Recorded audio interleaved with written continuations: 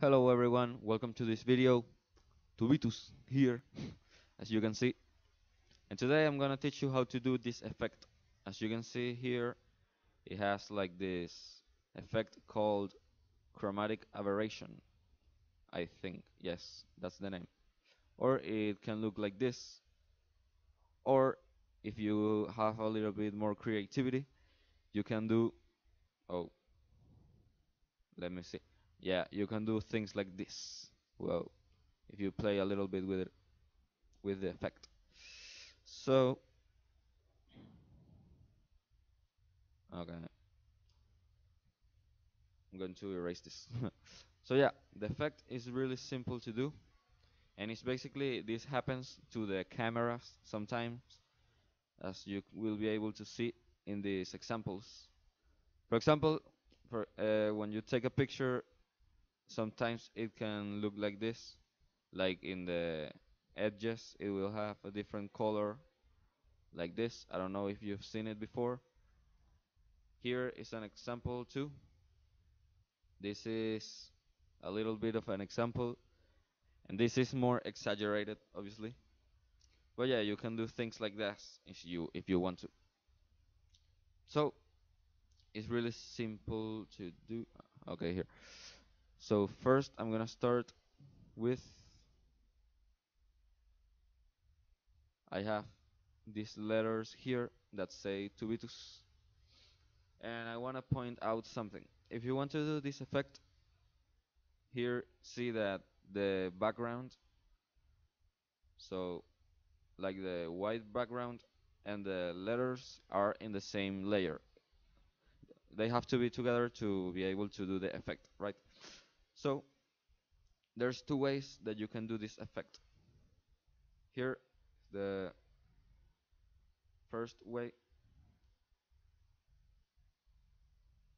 this would be will be the second way right so yeah the first way that you can do this is you go to filter lens correction and you will have this selected like this I think I don't know I had it selected. You have to unselect that. I don't know why but you have to do it.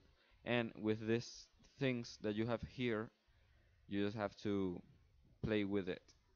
Like depending on on what you do the colors are gonna change. For example if I move this here oh if I move this here the colors are gonna change and everything.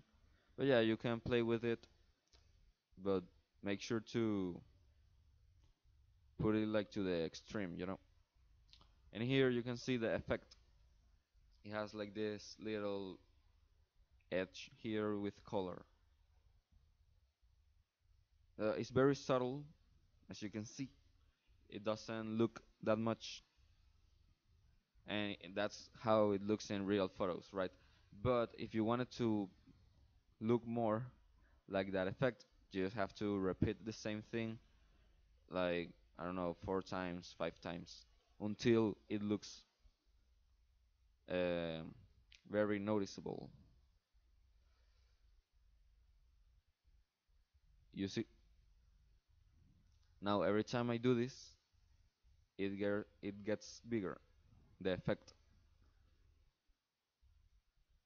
Uh, one more time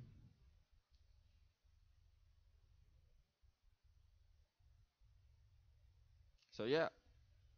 As you can see here we have that effect. Looks very cool. And you can do this with pictures and everything. So now the second way that we're going to do this is you need to have your layer right here but you have to duplicate it. So you have two layers that are the same.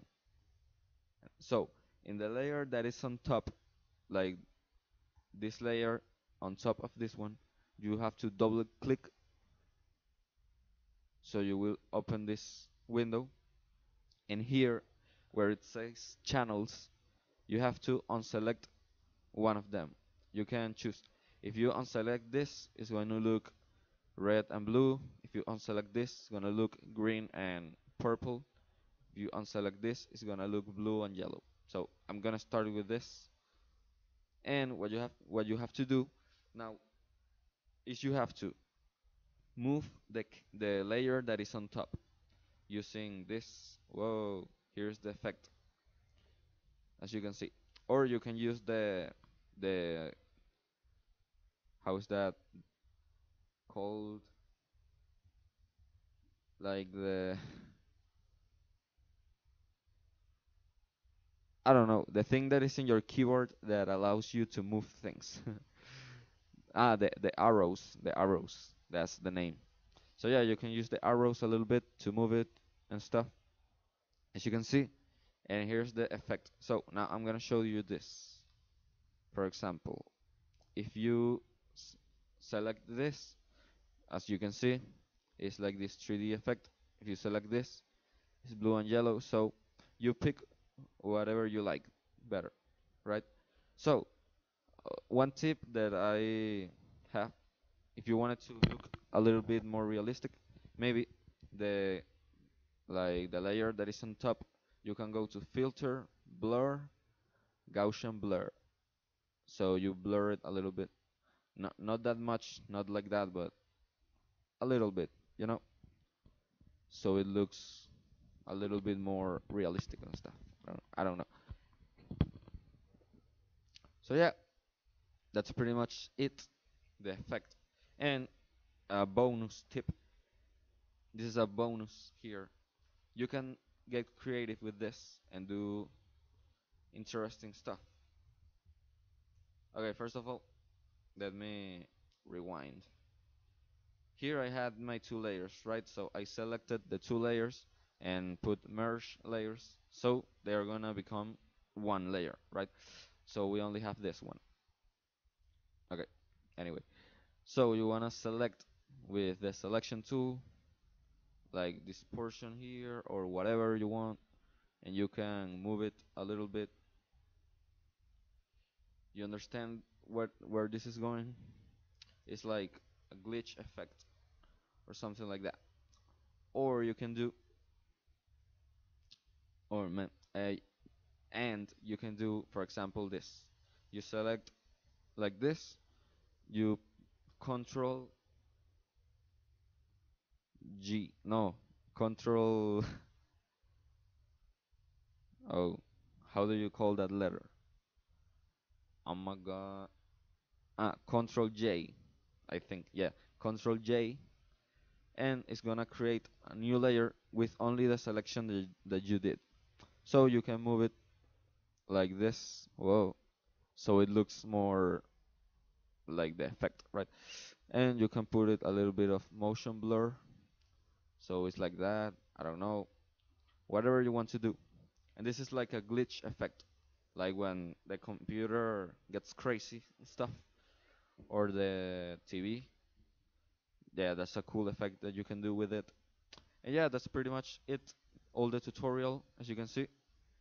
So I hope you understand I hope you it was help I hope it was helpful and see you on the next videos. Bye. And remember in my channel I have more tutorials more stuff so check it out. Right? So yeah cool. Uh, see you on the next videos. Thank you for watching